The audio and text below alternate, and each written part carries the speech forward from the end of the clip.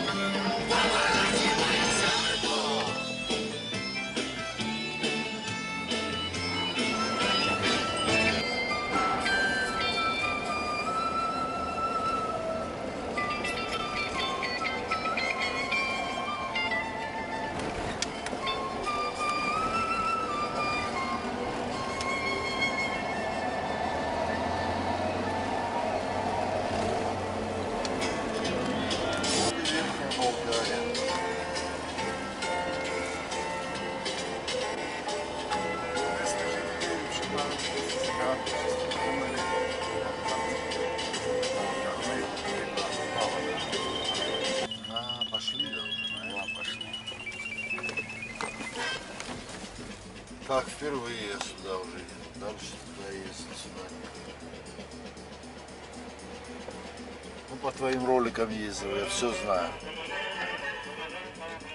Я даже сейчас буду камни узнавать, где какие.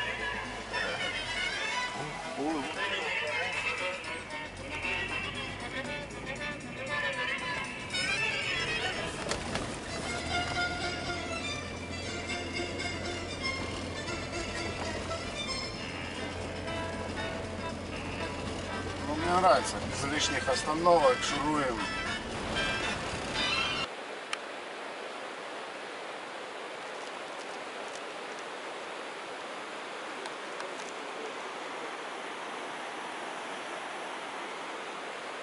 Находимся в самом начале перевала, который ведет в Безенги. Это достаточно длинный перевал, 33 30-33 километра, примерно такова его длина. Очень тяжелый перевал, как я уже говорил. С нами вместе человек, который, пожалуй, лучше всех знает эти места, потому что на протяжении долгого промежутка времени он был руководителем Черекского района. Муардин Тума- Туменов, мой хороший товарищ, мой друг и просто Мы порядочный человек. находимся на территории Верхней Болгарии. Это одно из крупных сел Черекского района. Здесь проживает около трех с половиной тысяч человек. Славится сортами яблок. Выращивают здесь прекрасную капусту для реализации и животноводства. Овцы, крупный рогатый скот, продукцию которого они реализуют и в Нальчике, и для себя выращивают вот эти продукты питания.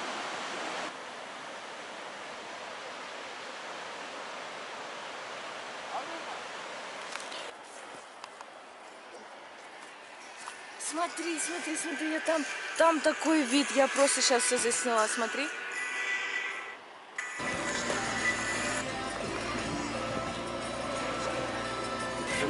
Мы в доме для великанов. в Аризоне, Гранд Каньоне и одновременно в Швейцарии.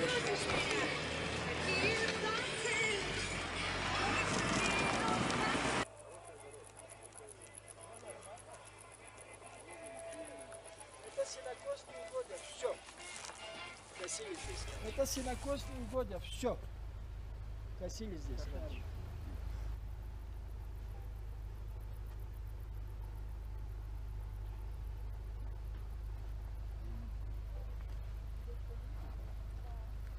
Здесь ты далеко от нас не отходи, а то могут...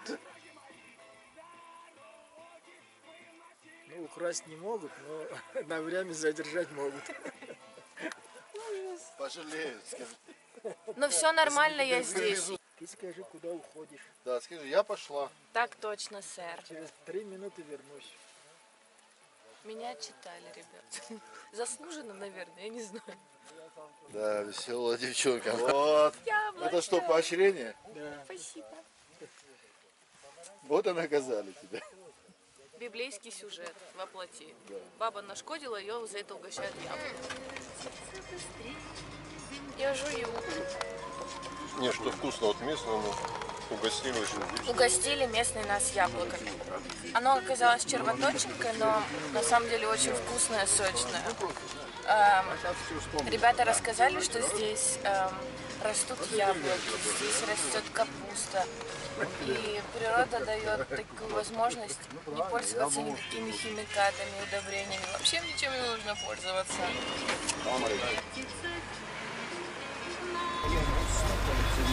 И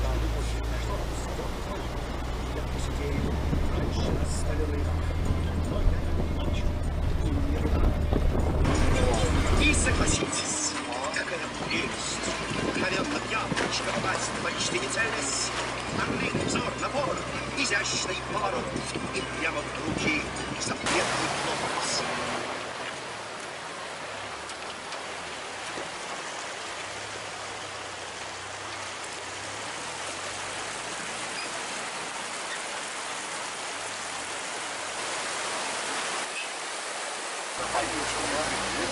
Да, вот она, река. Какая река, интересно? Лучший наш пир. Музыка из фильма «Апельсиновый сок». Там снимается всего три актера. Э, Бедный покойный Андрей Панин, Ингеборга Дапкунайта и Александр Яценко. Наш российский фильм. э, Всего лишь три актера задействованы. И больше, чем от него эмоций, вы не получите даже от самого крутого боевика. Там нет ничего такого. Там просто трое живут ради друг друга. В одном доме, очень далеко в лесу. Обязательно посмотрите. Слушайте, это дом великанов. Дом великанов, посмотрите на это.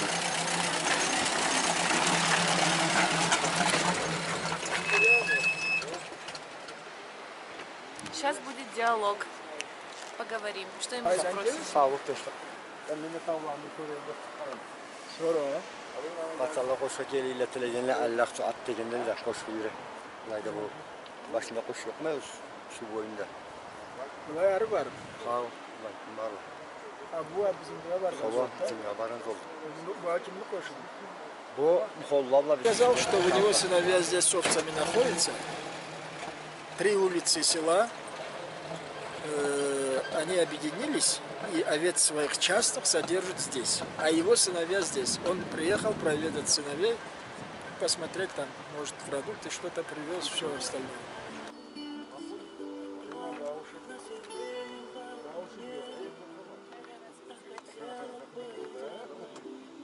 Один раз в год этот в село гоним, например, на прививку.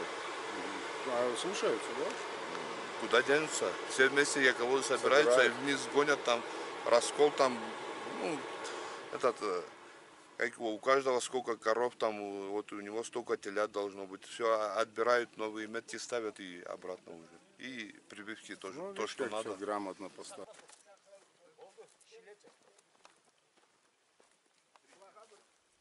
Еще здесь снимешь. Мы рады вас видеть в горных, богом забытых аулах, в горных шпилях. Сейчас барашку зарежем. По-кавказски достойно мы вас примем. Все будет красиво, Аллах айтса. Мне тут такую новость сказали, бяшку зарежут. Маленькую пушистую бяшку. За что?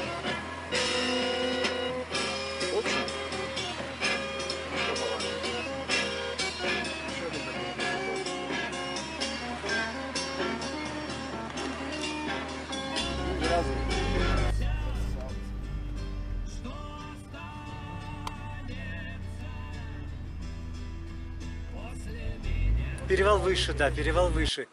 На промежуточной, перед перевалом, ну совсем мало осталось. Вот буквально поднимемся здесь и это. Это плата, э, где считается проходил отрезок Великого Шелкового пути. Но это пока не подтверждено. Но здесь, круг такая красота, которую трудно представить. Я думаю, стоит показать эту панораму. Два, два первопроходца. Али, зайди, сними нас. Я не знаю, где мы находимся точно. Я не знаю местности. Я не знаю, как называются эти горы. Я просто это все вижу и эм, у меня нет слов э, достаточно красочно, ярко, емко описать эти ощущения. Мы сюда ехали по очень опасной дороге. Она была с дикими ухабами, обрывами. Но э, в этом адреналине, когда мы подскочили на повороте над отвесной пропастью, и именно с моей стороны был склон, у меня очень сильно ёкнуло сердце, но у нас отличный водитель. И он, не знаю, много чего нам интересного рассказал. Но это был страшный момент, на самом деле страшный момент, потому что здесь не ловит сеть, это правда. И была какая-то мысль очень быстрая и одновременно далекая, что а вдруг что-то случится. Но это такой страх, как если бы ты ночью заплывал в темноту моря, в глубину, и боялся, что тебя утащит какое-то чудовище. Немножечко детский страх, но здесь было такое же, что ты просто сгинешь и тебя не найдут.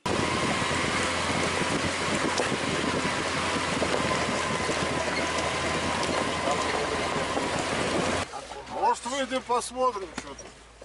Хочешь пешком идти? Не, посмотреть, что тут может. Что смотреть?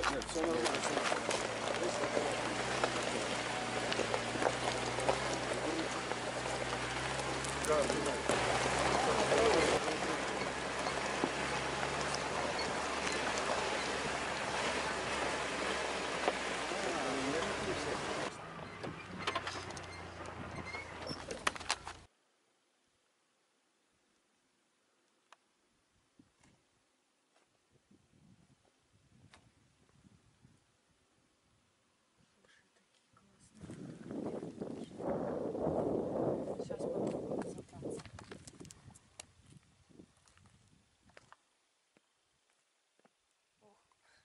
шатается.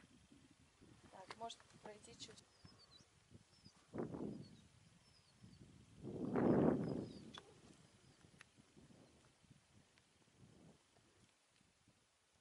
Вперед. Шатает. О, черт, я не могу слезть теперь. А! Так, снимайте меня. Черт возьми, она реально шатается. Если я сейчас провалюсь, это будет... Это все. Прекрати снимать, мне страшно. Назад, назад. Я не могу назад, у меня ноги трясутся. Так, надо взять себя в руки.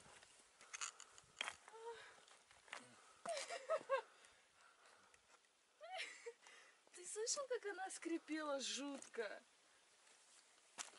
Они вообще не держатся здесь. Просто сложно. Вообще. О, но это было классно. Но страшно.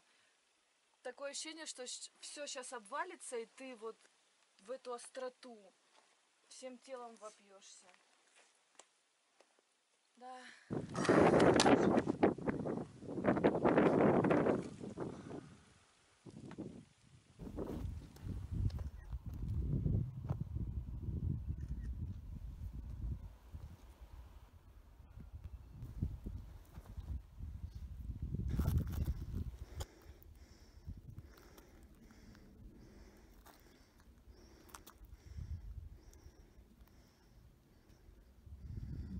Шахты вот там. По-моему, их даже две. Тропинка есть точно. Причем хоженая.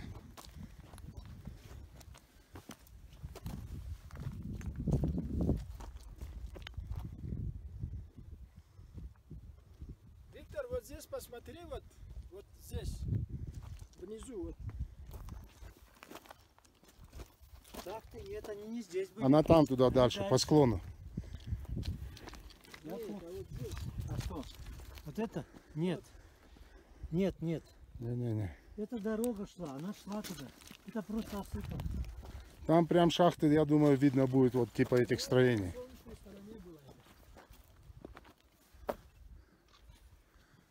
Какая красота. Ага. Вот такое место. 3000, почти 3140 метров, если быть точным. Ну, почти 3200. Собственно, это и есть тропинка к штольне. Как я слышу из рассказов старших.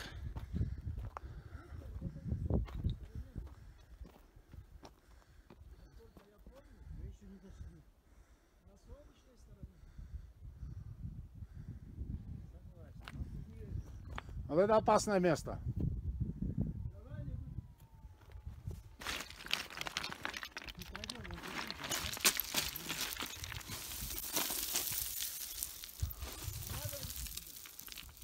Вот это опасное место. Можно поверху чуть пройти. А, ну подожди, мы же не это. Хотя Ну, бы... судя по всему, дальше дороги нету. Шахту, штольную, так сказать, или шахту, как правильно, я не нашел, не знаю где. Мне кажется, вот за тем бугром она дальше. Ну, возвращаюсь.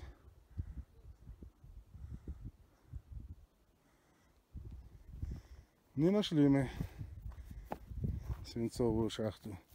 Но строение геологов присутствует. Вот сама шахта. Нифига не понимаю где.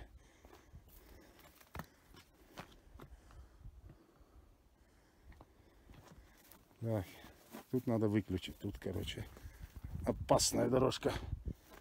Камни сыпятся, насыпаются. Нестабильные. Поэтому Юрий Владимирович, аккуратненько, без эксцессов, без напряжек. Идем.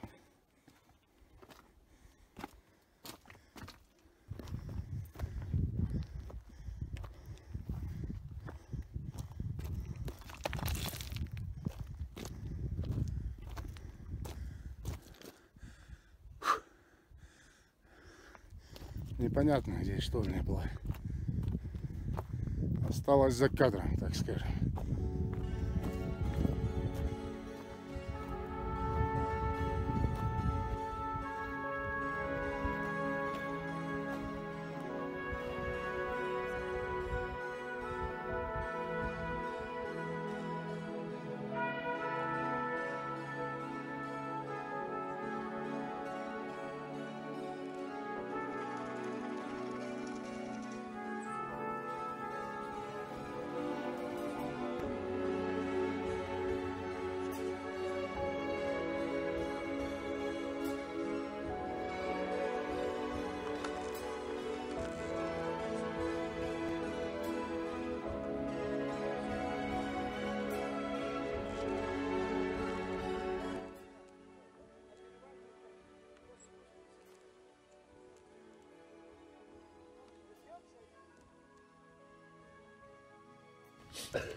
А у нас в селе ну, хорошо выпивающий был один человек, мужчина в возрасте.